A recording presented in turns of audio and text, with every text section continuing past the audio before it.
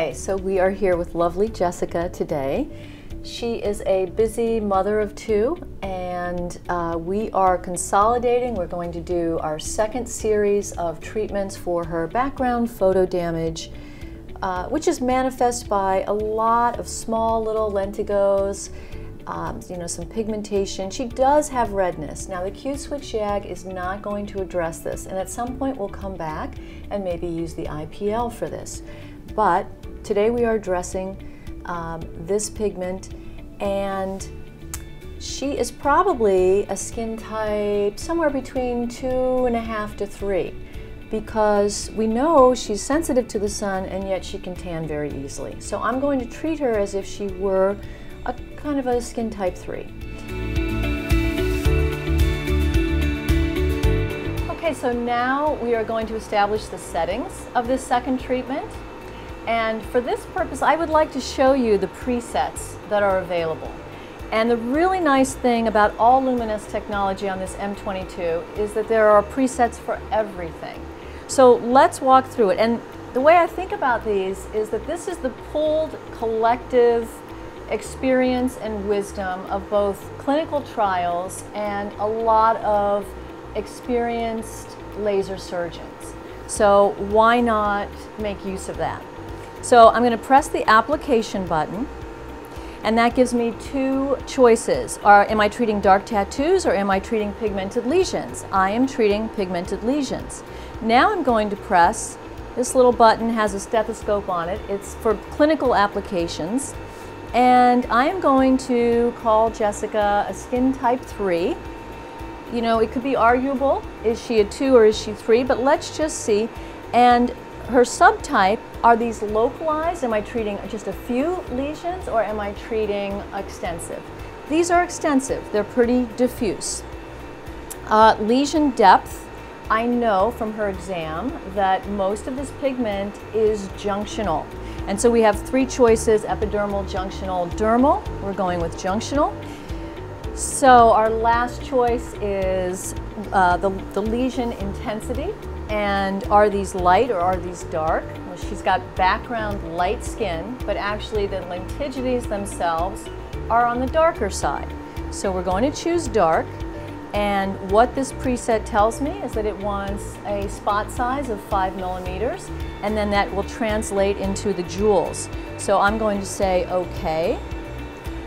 And actually this is precisely what I treated Jessica with for her first treatment, which is a five millimeter spot size, 2.25 joules per centimeter squared.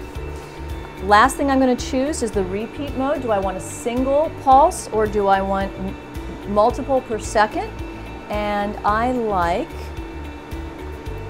five, uh, a, a, hertz of five, five pulses per second. This allows the smooth painting motion and a, and a quick, uh, rapid treatment. And then we are ready to go, okay?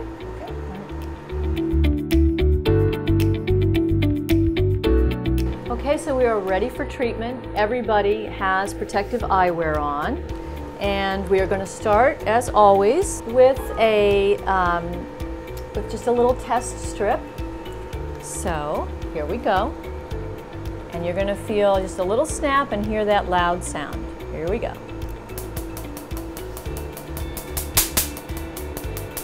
And how is that? Good. Okay. And I'm going to check this just to make sure that I don't see any increase in redness, erythema. But the other point I want to make out is Jessica does have some redness on her cheek. So when I test for this, I'm going to choose a site away from that just to make sure that I can see the true interaction of the laser with the skin. All right, we are ready to go.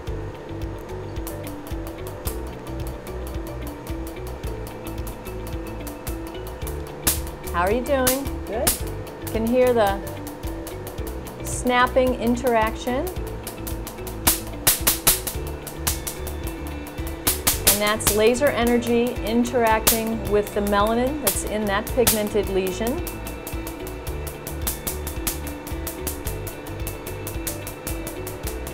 And unlike a stamping procedure, this procedure is you know, very quick and um, easy to perform because you can just basically glide and paint over the surface area you're targeting. Again, that's fine. Okay, here we go.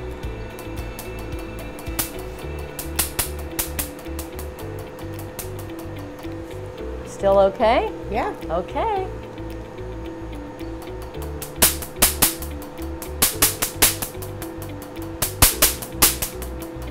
And I'm seeing that right over this left temple, there is a little bit of a pigmented patch right here, and you'll just hear that.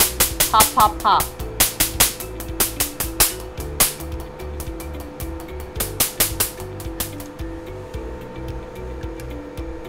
Very good. And then turn your face just toward me, toward your, okay.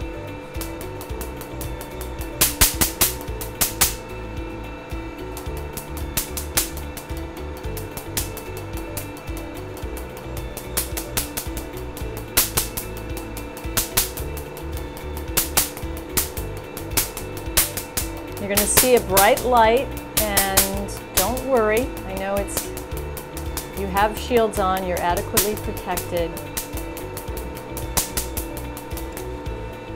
Still doing okay? Yeah.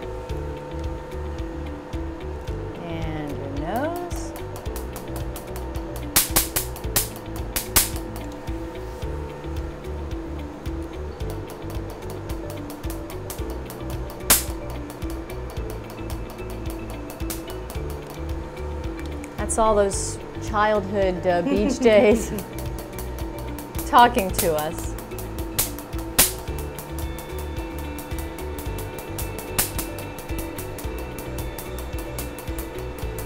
And if I wanted to really focus on one particularly large lesion, I could go over it many times. I could uh, choose a different setting and just spot treat that one individually.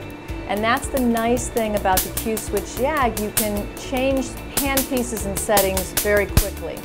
So it doesn't delay the treatment and you can sort of fine tune your treatment to address different types of lesions in the same treatment session.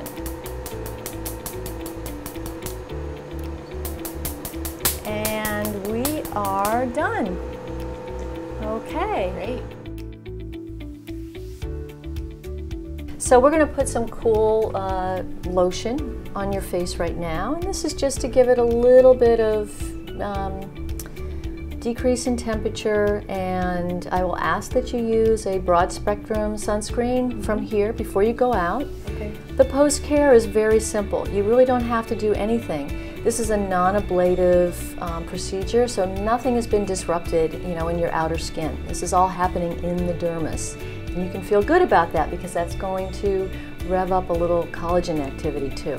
So just be careful, nothing abrasive. Uh, don't use any retinols or retinoids just for a few days, and that's it. Great. And um, just be a good girl out there in the sun. Okay, I promise. Thank you.